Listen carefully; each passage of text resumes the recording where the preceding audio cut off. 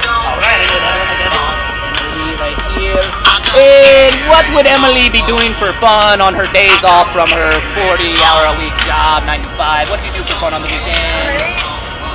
Art, singing, but you might, when you do the art and singing, might have a tendency to believe you might want to do that on a skateboard. I tell you what, I'm a very terrible artist. You are on a skateboard singing because that's all I can do. Here's the music notes, doing. You've got the pencil in your hand. Let me pronounce the skateboard. And you got an original Caravaggio sea badge at the Sea Bus Arts Festival. Is that her or is that not her, correct? Yes. That's you, right? You don't need any mirrors anymore. This is it, right? From here on out, you will never change. Throw away your mirrors, Emily. That's take. I could caricature less, uh, if you would like it or not. Because I don't really caricature. Hey!